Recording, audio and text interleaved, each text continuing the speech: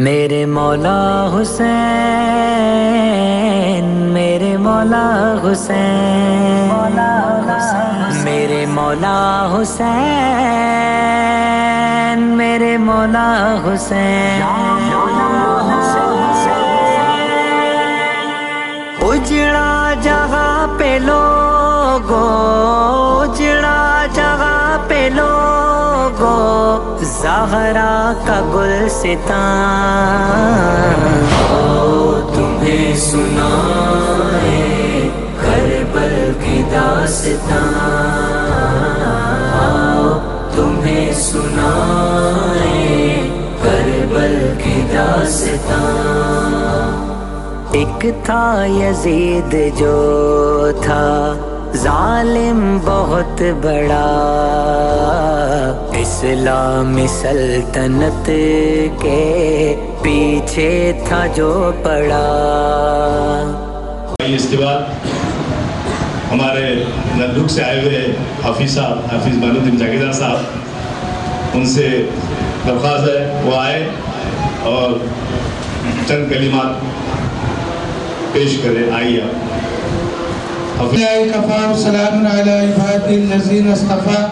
अम्मा बाद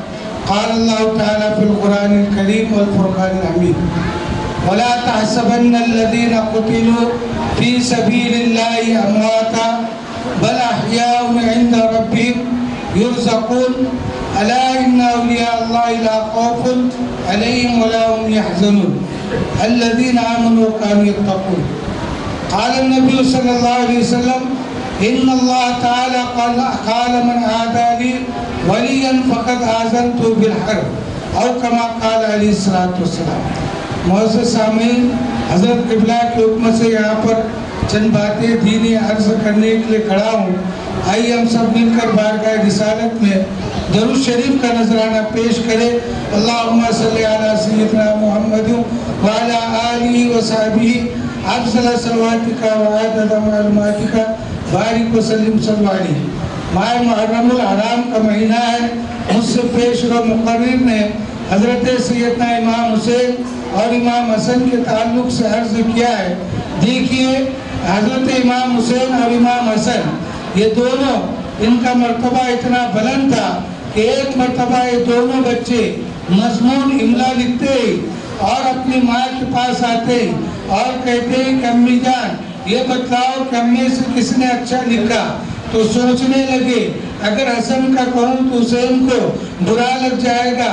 कहा कि बेटे जाओ, तुम्हारा फैसला अब्बा जान करेंगे। ये अब्बा जान के पास जाते, हज़रत अली करम वज़ू की खिदमत में हाजिर होते। वो भी यही सोचते और कहते हैं कि बच्चों तुम नाना जान के पास जाओ।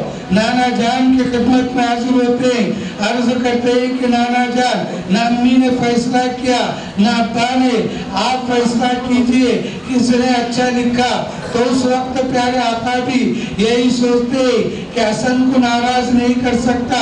न उसे उनको कहा कि बच्चों, तुम्हारा फैसला रब तबारक ताला फरमाएगा।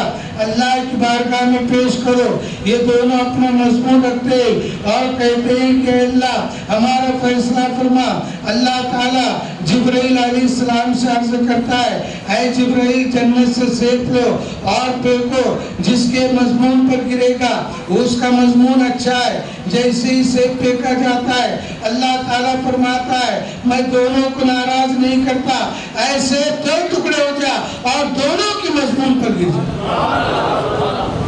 तो दोनों को भी राज़ी करते। इस तरीके से हज़रत इमाम हसन और इमाम हुसैन, यानी प्यारे आका के लाडले, रब की बारगाह में भी लाडले, हम आप जब उनसे मोहब्बत करते तो यकीन हम सब रसूल से और खुदा से भी मोहब्बत करते।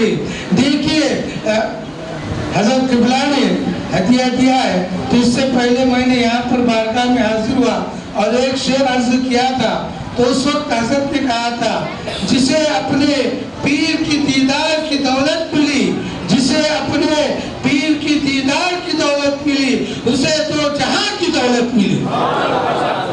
तो उस वक्त भी हज़रत ने कहा था कि किसे मिले न मिलो, जिलानी हाफिज साहब को तो मिल गई मैं बोले हज़रत आप ही का ये क्रम है। देखिए, बारगाह में हम हाजिर हुए तो मुझसे कहा गया कि हज़रत के बारगाह में आने की आदत बना लो। क्यों इसलिए कि मैं बीमार होने से पहले हर माह हज़रत की बारगाह में हाजिर होता रहा। तो इससे बात कहने के बाद मैंने यही कहा, इदरीस किबला के दरबार में आना आदत नहीं है।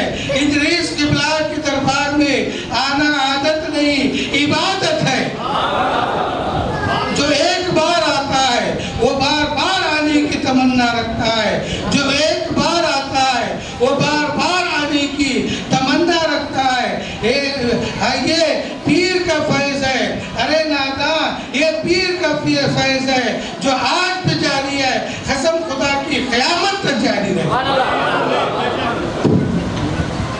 देखिए हज़रत इमाम हुसैन, जिस वक्त आपको शहीद किया जा रहा है, आपके आसरात में तीर और तलवार लेकर खड़े तो उस वक्त आपने कहा, मुझे दो रकात नमाज़ पढ़ने का मौका दो। आप लोगों ने कहा कि, ठीक है, पढ़ लो। आपने नमाज़ अदा किया तो उस वक्त फरमाते, जो शेर खंजर कातिल नमाज़ अदा करे, जो शेर खंजर कातिल नमाज़ अदा करे, नमाज़ कैसे? नमाजी पे क्यों ना नाज करे? यानी हज़रत इमाम हुसैन पर नमाज़ नाज कर रही है। इस तरीके से आपने नमाज़ अदा किया और देखिए, दीन के लिए इन्होंने कितनी अजीब कुर्बानी पेश की। आप, हज़रत मसाबिब ने उमैर का नाम सुना है, यानी एक जलील कद्र साहबी है। इस्लाम लाने से पहले आप मालदार है, इतने मालदार है कि अगर मक्खी बैठ जाए तो कपड़े को फेंक देते और जब इस्लाम लाए तो आपकी हालत है। इंतकाल के बाद आपको कफन मैसर नहीं हुआ। यानी कफन को अगर चेहरे पर डालते पैर खुले हो जाते, पैरों पर रखा जाता है, चेहरा खुला होता है। प्यारे आका ने फरमाया, चेहरे को ढाप लो और पैरों पर गुले कैरू घास रखा रखो, यानी नबी के गुलामी का तो गले में डालने के बाद तंदस्ती का मज़ा मज़हब से पूछ नबी के गुलामी का तो गले में डालने के बाद तंदस्ती का मज़ा मज़हब से पूछ इस्लाम कबूल करने के बाद रेगिस्तान की तपिश का मज़ा बिलाल से पूछ इस्लाम कबूल करने के बाद रेगिस्तान की तपिश का मज़ा, बिलाल से पूछ जहर से कलीजा, टुकड़े होने का मज़ा, हसन से पूछ जहर से कलीजा, टुकड़े होने का मज़ा, हसन से पूछ करबला की रेत पर तड़पने का मज़ा, हुसैन से पूछ यानी इस तरीके से आपने तड़प कर इम्तिहान दिया, मगर इस्लाम को आपने बुलंद रखा। देखिए प्यारे आका वसल्लम के साथ आप तशरीफ़ ले जा रहे। एक शख्स ऊँट के ऊपर सवार है। आपने कहा कि नाना जान उनके लिए सवारी है। आप नीचे बैठ गए और कहा कि हुसैन, मेरे पुष्ट पर सवार हो जाओ। हज़रत इमाम हुसैन पुष्ट पर सवार होते कहा कि नाना जान, उनके हाथ में लगाम है। आपने अपने जुल्फ मुबारक दिया और पकड़ लो, वो पकड़ लिए और उस वक्त आपने ये दर्श दिया कि बेटे, आज जिस तरीके से तुम मेरे कंधे पर हो और मेरे जुल्फ तुम्हारे हाथों में है। कल करबला के मैदान में दीन का, इस्लाम का झंडा तुम्हारे हाथ में होगा। उसे नीचे गिरने नहीं देना और तुम्हारा कुर्बानी देना। इमाम हुसैन ने वही किया। देकर, इस्लाम के झंडे को बुलंद किया। खतरे हुसैन असल में मरगे यजीद है। इस्लाम ज़िंदा होता है, हर करबला के बाद। यानी इस्लाम को आपने ज़िंदा किया। तो इसीलिए आज की महफिल मुनद हो गई। और हम सब एक वली की बारगाह में हाजिर है। शेख सादी फरमाते, एक लम्हा सोहबत बाउलिया एक लम्हा सोहबत बाउलिया बेहतर बेरिया यानी वली की सोहबत में एक लम्हा बैठना, हज़ार साल की नफल नमाज़ से बेहतर है, जो कि रियाकारी से खाली हो। यानी ऐसी नमाज़ से बेहतर है, वली की सोहबत में बैठना। क्यों इसलिए कि जो जो वली से मिला, वो अली से मिला, जो अली से मिला, वो मुस्तफ़ा से मिला, जो मुस्तफ़ा से मिला, वो खुदा से मिला। तो यहाँ से हमें ये रास्ता मिलता है, ये खुदा इसीलिए कहा गया देखिए जब हम उलमा के महफिल में जाए तो अपनी ज़ुबान को संभाले और अल्लाह की महफिल में आए तो हम अपने दिल को संभाले। क्यों? इसलिए कि अल्लाह की नज़र हमारे दिलों के ऊपर होती है। यानी मैंने आजमाइश किया और मुझे यहाँ पर ये, इस बारगाह में दर्श मिला। देखिए, एक शख्स यहाँ पर इसलिए आया है कि उसके शिकम में, पेट में दर्द हो रहा है। यहाँ पर कई घंटे बैठने के बाद हज़रत न बुलाने पर उसने कहा कि इतनी तकलीफ़ हो रही है, क्या हज़रत नहीं जानते? मुझे अब तक नहीं बुलाए। और वो चला गया। पूरी रात तड़पता रहा। और दूसरे दिन फिर यहाँ पर आकर बाहर बैठता है। हज़रत ने अपने कादिम को भेजकर बुला लिए और कहा कि उनको बुलाओ। वो सोचने लगा हज़रत को कैसे मालूम हुआ? यहाँ आने के बाद हज़रत ने कि तुमसे पहले आने वाले लोग, अगर तुमको बुलाऊं, वो बेचारे नाराज़ होंगे। अगर तुमको न बुलाऊं और तुम्हारे बाद में आने वाले लोगों को बुलाया जाए तो तुम कितने नाराज़ होगे? कहा कि हज़रत ठीक है। एक ताबीज और पानी देकर मुझे वहाँ से भेजा गया। तो उसने कहा कि कसम खुदा की, आज तक मेरे पेट को शिकायत नहीं। तेरा पीर तेरा पीर।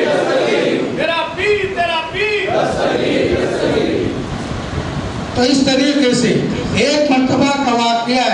हज़रत किबला के पीर के, यानी जलसा यहाँ पर मुनद किया गया। और उस वक्त मैं भी यहाँ पर हाजिर था। वो मेरे शागिर्द रशीद यहाँ पर साथ में आए। मगरिब की नमाज़ होने के बाद उन्होंने कहा कि मुझे भूख लगी है, खाना खाना है। मैंने कहा कि देखो, हज़रत किबला ने अभी इजाज़त नहीं दी है। क्यों गड़बड़ करते हो? फिर पाँच मिनट के बाद उन्होंने कहा कि नहीं, हमें भूख लगी है कुछ तो कीजिए। यानी इतना कहना ही था। हज़रत किबला सामने से तशरीफ़ लाए। आने के बाद ये नहीं पूछा, कैसे हो? बल्कि ये कहा कि जाओ, आप साहब पहले खाना खा लो। चुकी है।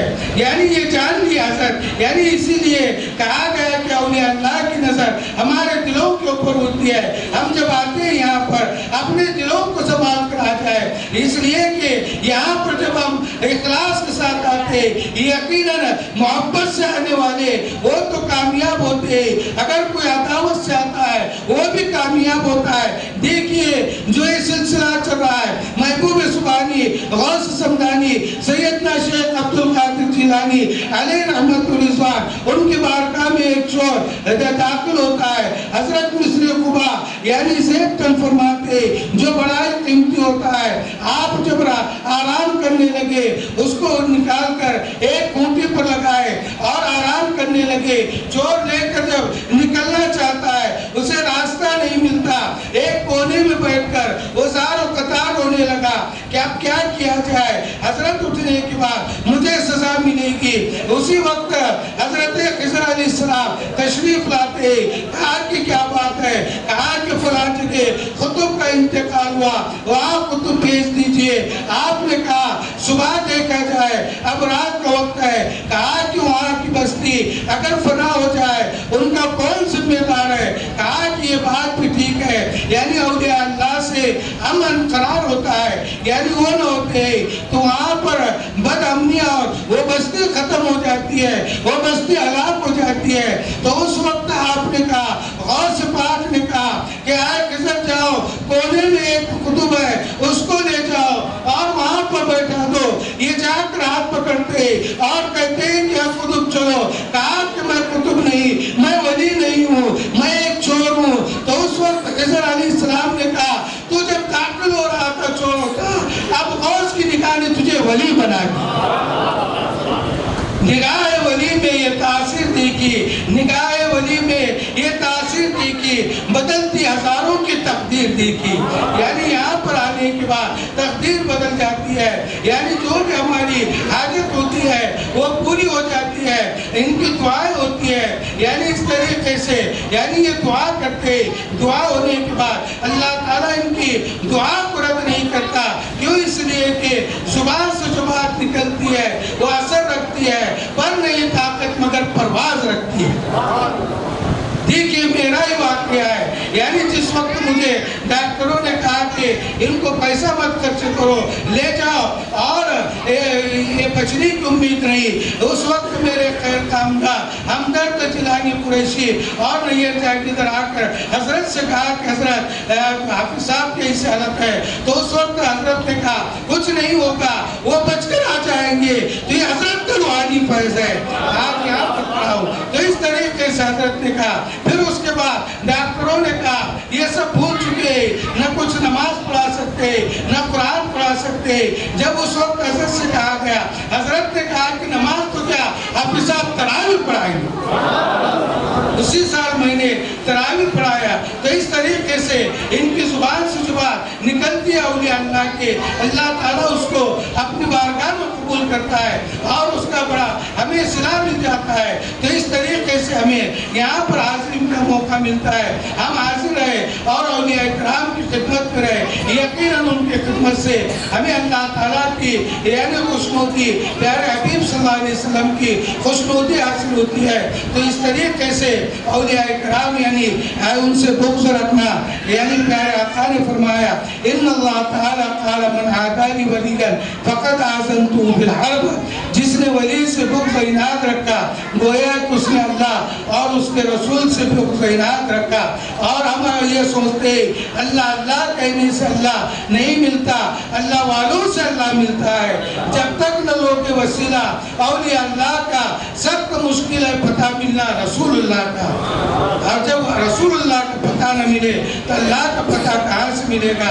मैं हज़रत का मशहूर हूँ। यानी मुझे कहने का मौका अता किया। अल्लाह हम सबको कहने और सुनने से ज़्यादा अमल की तौफीक अता फरमाए अल्लाह ताला सबको अलिया कराम की आजमतों को, मोहब्बतों को अपने सीने में बसाने की तौफीक अता फरमाए, और उनके नक्श कदम पर चलने की तौफीक अता फरमाए। अल्लाह ताला सबको हज़रत किबला का रूहानी फैज अता फरमाए। अल्लाह ताला सबको हज़रत का रूहानी फैज अता फरमाए। जो यहाँ पर सब हाजिर हैं, अल्लाह ताला सबके मकासद में कामयाबी और कामरानी अता फरमाए। वाह दावाना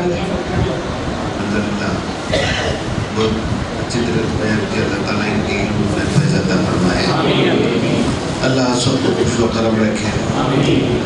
आपने हल्के में शरीक रहे, अल्लाह का एहसान है। इसकी बहुत बड़ी फसलियत है। अल्लाह का ज़िक्र करने में, अल्लाह का अल्लाह का ज़िक्र करने में, नमाज़ पढ़ने में बहुत बड़ी फजीलत है। अभी नमाज़ का वक्त हो चुका है, जाके नमाज़ पढ़ लें। और उसके बाद कैसे बनाएँ अभी हमें हर रोज़, हर टाइम अल्लाह का ज़िक्र करते रहें और अल्लाह के ज़िक्र से काफिल ना रहें, शरीयत मोहम्मद वसल्लम के पाबंद रहें।